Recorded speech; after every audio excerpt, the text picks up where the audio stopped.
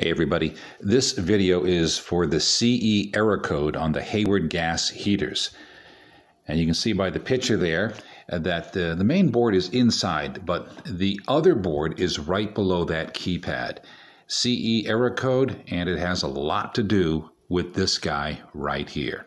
Okay, this is the, uh, the keypad circuit board. And you see that uh, copper corrosion? So guess what? This pin is it's loose. So this one definitely has to go. But the big story is the main board. There it is. That dark thing is a gecko. And it, uh, when they get in there, they fry the circuitry behind here. So we're going to pull out that board. That's the main board. Well, this is actually a frog. It's not a gecko. Looked pretty healthy until the uh, took a ride one day behind this circuit board. Anyhow, he really fried himself on this thing. So it killed him and it ruined the circuit board. At least we have the mummy left of this guy.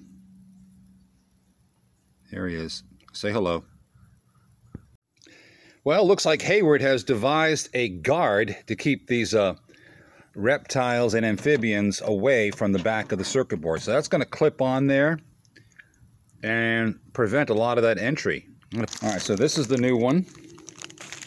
We're going to take that out and put the guard on it, the white thing. And this is what it looks like.